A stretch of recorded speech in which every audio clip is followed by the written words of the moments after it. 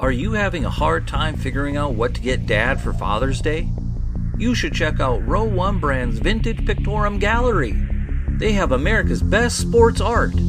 With over 7,200 historic sports prints, you're assured to find something unique for dad this Father's Day. Instead of a boring old tie, get him a historic baseball photo taken by Henry High Sandom at the historic Polo Grounds Stadium in New York City during the 1894 Temple Cup.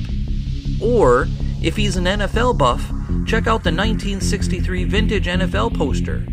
These are so good looking that you'll be amazed how they turn out. Shop now at sportshistorynetwork.com slash row one and save 15% off your order. William Ogden is credited as being the first bookmaker in human history, now more commonly referred to as a sports bookie.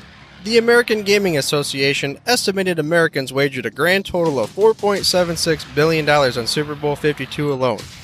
In this episode, I'm going to tell you a story about an individual that started off as a bookie and would end up being the catalyst for two out of the three Super Bowl losses for Tom Brady.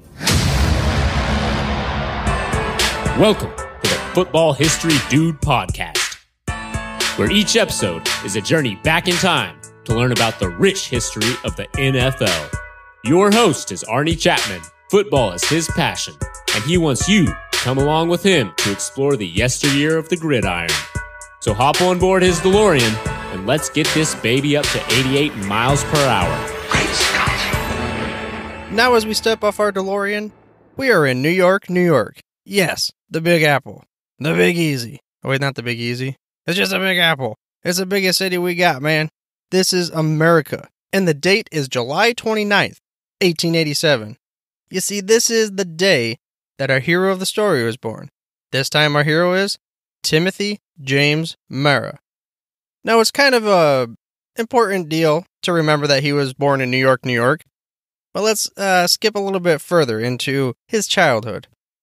The Hall of Fame mini biography that they always put on there had to point out definitely that he had no college, which, you know, at the time wasn't as prevalent as it is nowadays, but it was still a big deal for what he would go on to accomplish. Now, I couldn't verify this without a doubt, but it said that he had to quit school at the age of 13 to help support his mother. His first job, according to the article, was an usher in a theater. Then he would go on to become a newsboy selling newspapers in the streets. You know, that whole, hey, mister, I got the newspaper here for you. You know, the Godzilla just attacked the city and, you know, those kinds of things and whatever and stuff.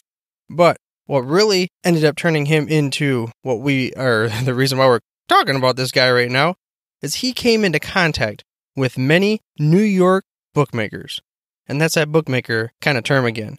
Now, you and I know them as bookies.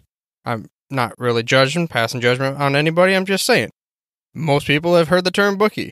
So, what he did at that young age was he was a runner for the different bookies and the New York bookmakers back in the day, where he would earn 5% of the commission.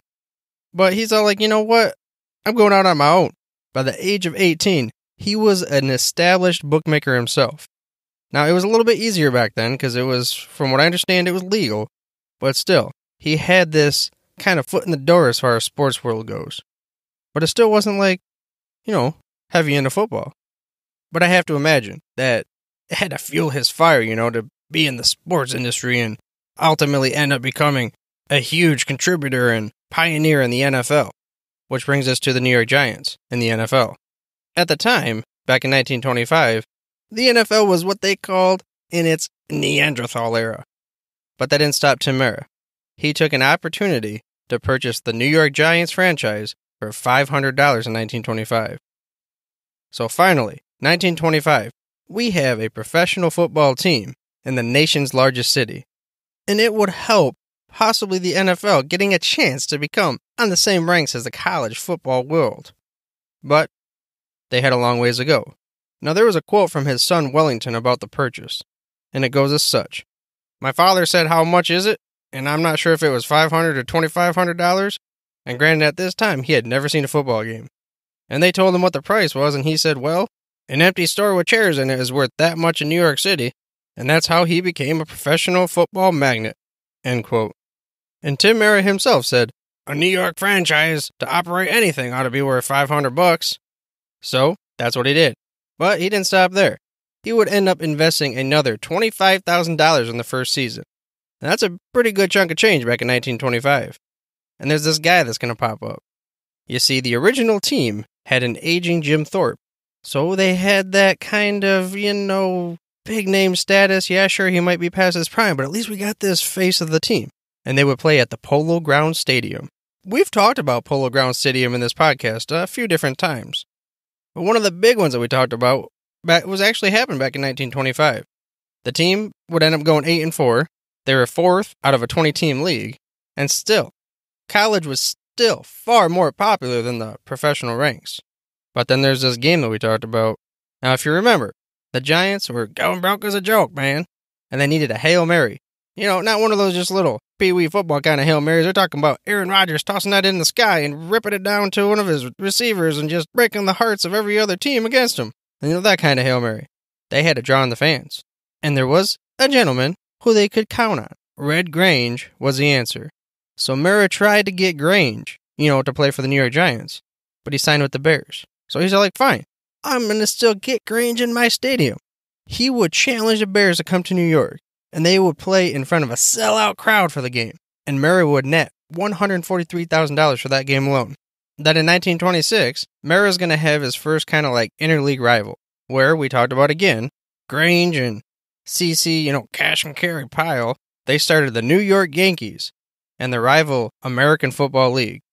This did cause an issue for the Giants and Mara. Now, they were losing fans and money. And it wasn't just necessarily because they were not putting on a good show. I mean, they still were the Giants, but you're dealing with Red Grange over there against the New York Yankees, and no matter what, you're going to lose some of your fan base. So they would bore the brunt of the fight against the AFL. But as we found out earlier, the Yankees in that new league, they're like one and done kind of dudes, you know, MC Hammer style, out of business. And Tim's all like, ho yo yo, can't stop, Mara time. And they didn't stop. They would proceed to succeed in the following year. The Giants would win their first championship after the year that they had to, you know, bore the brunt of the fight against the AFL. They would win the championship with an 11 1 and 1 record. Now, mind you, again, this was all based on record. They didn't have no playoffs, no stinking playoffs. We found out about that last episode. Didn't happen until the mid 30s. So, here we are. Another famous moment that I gotta talk about. Remember that sneaker game? Yeah, sure. That happened at the Polo Grounds.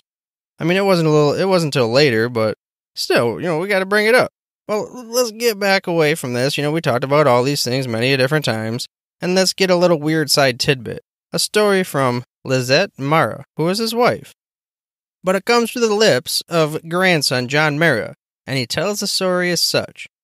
The story goes my father, no, this is Wellington, who is Tim Mara's son, came home from a game at the polo grounds with a cold. The Giants' bench was on the shady side, so my grandmother insisted my grandfather move the bench to the sunny side. It's been there ever since. We're one of the very few teams in the league that still has a bench on the sunny side of the field. End quote. Now I know that has nothing to do with football or any of that kind of thing. I mean, I guess it kind of does with the bench and everything, but it was just think about it. This is how new the the whole kind of thing was as far as football goes back there in 1925 and such. The wife of the owner, granted, the wife of the owner in many kind of avenues has a lot to say, but still, something as simple as the sun being on the field and he gets a cold and they're like, move that bench to the other side, man, to the sunny. I don't care what those players say. A little bit different than nowadays, but that was a long time ago. And because that was a long time ago, Tim Mara passed away on February 16th, 1959, at the age of 71.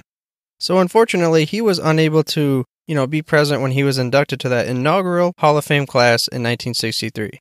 There was a quote that came from Tim Mara, and it went as such Getting a winner or building a winner isn't easy. It requires experience in the front office, long range planning, shrewd promotion, careful appraisal of costs, and luck. End quote. But I do have another interesting fact for you. Speaking of the Hall of Fame, Tim Mara passed the torch to his children for the Giants, as far as owning them and running them and all that kind of thing, and his son Wellington Mara ended up also in the Hall of Fame. He was in the class of 1997. Now, a father and a son, both in the Hall of Fame. Now, how cool is that? How often does that happen, you know? But Wellington also had good company. His college buddy was Vince Lombardi. Vince was the godfather to Wellington's son, Stephen. So it's like this whole big dogs in the NFL world. It's like they're all this inner circle.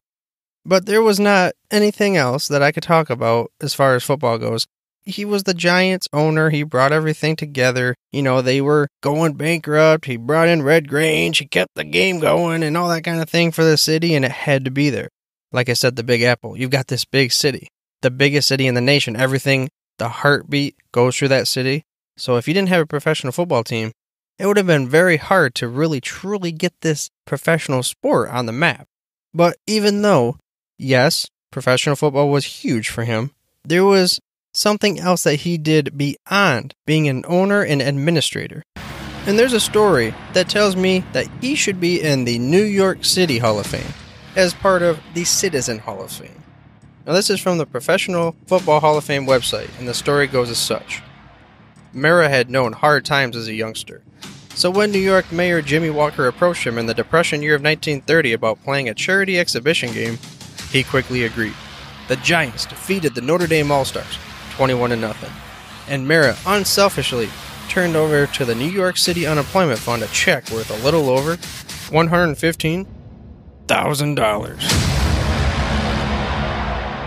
I hope you enjoyed this episode of the Football History Dude and were able to gain some knowledge nuggets of the founding father of the storied New York Giants.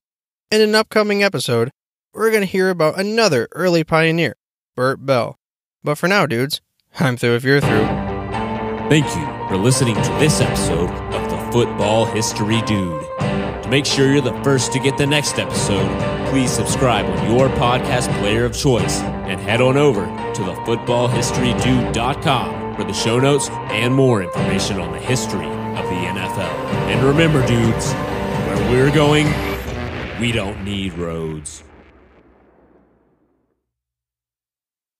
We here at the Sports History Network proudly partner with 26 podcasts, all revolving around the history of sports.